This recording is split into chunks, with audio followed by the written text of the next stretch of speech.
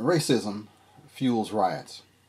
Now, I took this from my BlanchardMediaGroup.com um, posting. I've been writing about racism and the stuff that's been troubling me for the last couple of days. On November 24th, 2014, a grand jury found insufficient evidence to indict Ferguson police officer Darren Wilson of the murder of Michael Brown. Ferguson is a city in St. Louis County, Missouri, in the United States.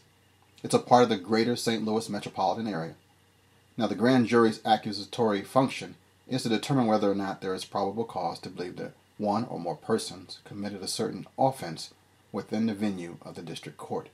The grand jury in the United States is composed of 16 to 23 citizens. Now, with today's forensic evidence, testimony, video, photography, and the level of education of our citizens, it is reasonable to believe that this grand jury did the best job they could do with the facts that were presented. They knew and understood what the risks were. It's their town. But when you add racism to this tragedy, all hell breaks loose. Racism says a white cop shot an unarmed black child. Racism says there is no justice, there will be no peace. Racism says a black life isn't worth anything. Racism says that black boys are a danger to this society. Racism refuses to look at the facts. Racism multiplies the media exploitation of the Brown family's tears. Racism breeds when educated people are seen on television agreeing that justice was not done. Racism excuses outside influences for pontificating and agitating the uninitiated. In the U.S., we enjoy the freedom to march against wrongdoings. Our country has been improved by the marches of the civil rights era. The right to petition government for redress of grievances is the right to make a complaint to or seek the assistance of one's government without fear of punishment or reprisals. We haven't had much success since the 60s. There is no sane reason for burning or destroying your own neighborhood unless it's to get rid of some pestilence. Fighting the police is uncalled for and it's stupid. It's racist to believe that all law enforcement officers are white supremacists. It's racist to support destruction anywhere in the name of peace. There are grieving parents in Ferguson, and nothing you do can bring Michael Brown back to life. There are businesses and livelihoods threatening distinction or, or destruction in Ferguson.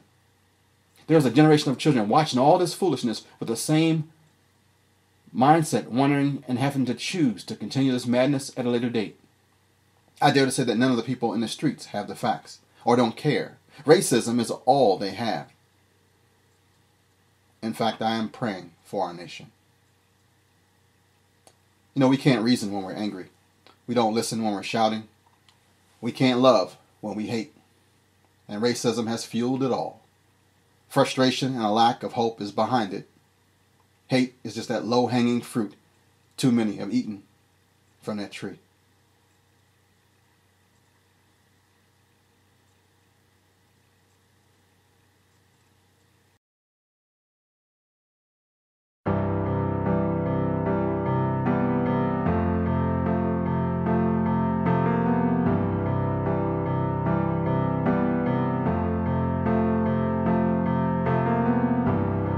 Imagine there's no heaven.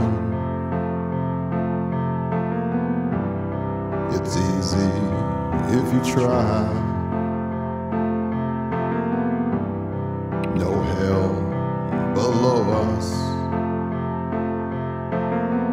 Above us, only sky. Imagine all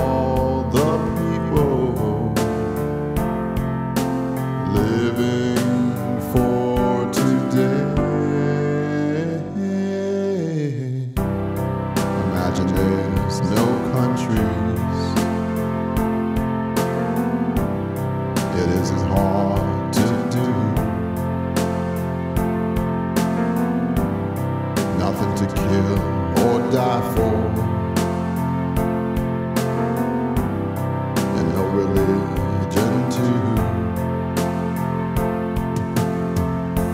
Imagine all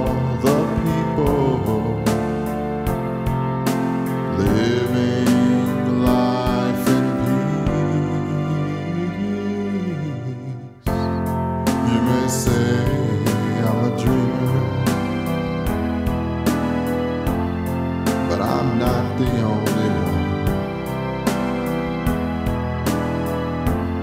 I hope someday you will join us,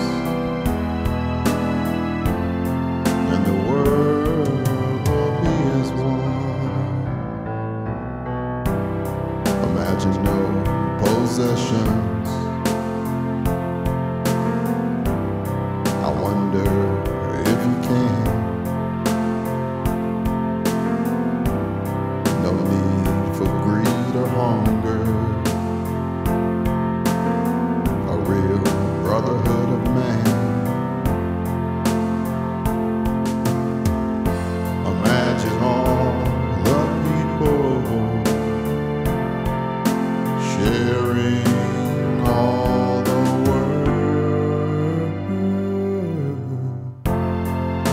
say I'm a dreamer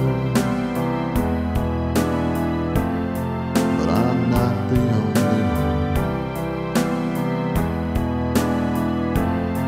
I hope someday you will join me.